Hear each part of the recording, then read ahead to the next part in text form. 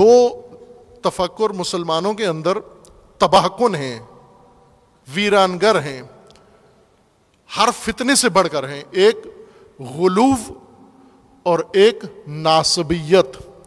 गुलूव आइम्मा को नौजुबिल्ला अल्लाह के मकाम पे ले आना, ये गुलूव है। अहल बैत को अल्लाह का दर्जा दे देना, उलूहियत का दर्जा दे देना और उलूहियत की सिफात अहल बैत के लिए कायल हो जाना, ये गुलूव है। जैसे आज ये फितना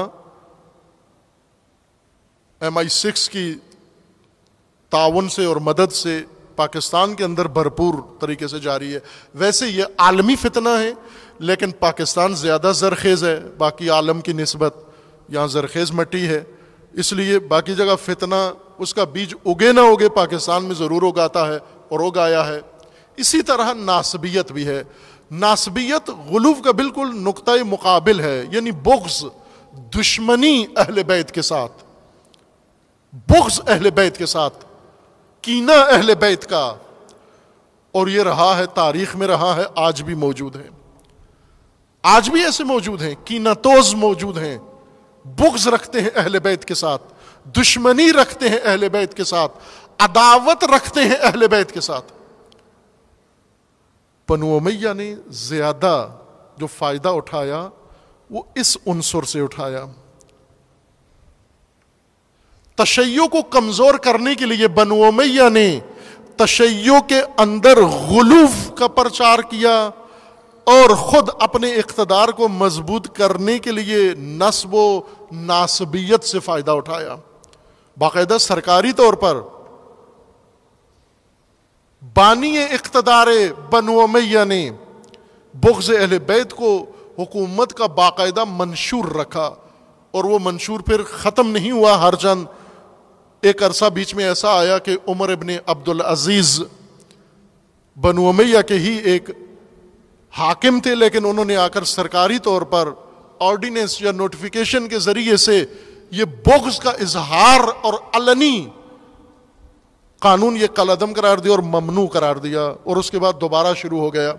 जब तक बनु उमैया रहे, इकतदार में सरकारी मंशूर था और जब बनु उमैया का इकतदार ख़त्म हुआ, जवाल पजीर हुआ तो इनकी हिजब और इनकी पार्टी और इनके नज़रिए और एतक़ाद का हिस्सा बन गया।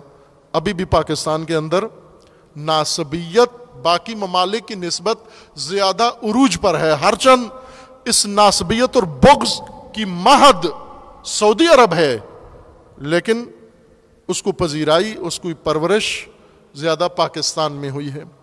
ऐसे मौजूद हैं नासबी यहाँ पर, जिनके दिलों के अंदर कीना है इमाम हुसैन सलाम का। कीना है अली का, औलाद अली का। कीना है आले रसूल का। और ये नासबियत करबला में खुल के सामने आई, ये कीना खुल के सामने आया।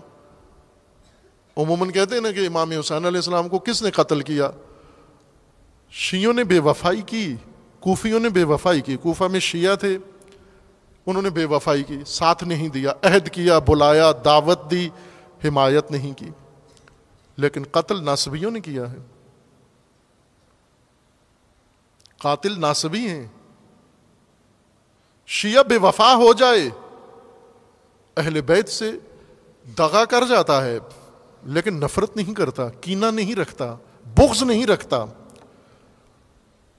रसूलुल्लाह का फरमाना था ए अली, अगर मोमिन की गर्दन काट दी जाए, उसका सर शमशीर से काट कर दो हिस्से कर दिया जाए, और उसे चाहा जाए कि तू अली से नफरत कर, वो मोमिन कभी नफरत नहीं करेगा।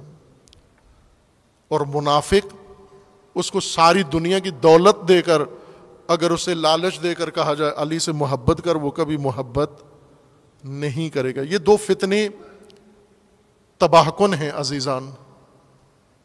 गुलू और नासबियत और दोनों की जद में है पाकिस्तानी। तसन्नुन, अहल सुन्नत नासबियत की जलगार में है और शिया गुलूफ की जलगार के जद में है। दो जलगारें और दोनों दुश्मनान दीन की जानब से।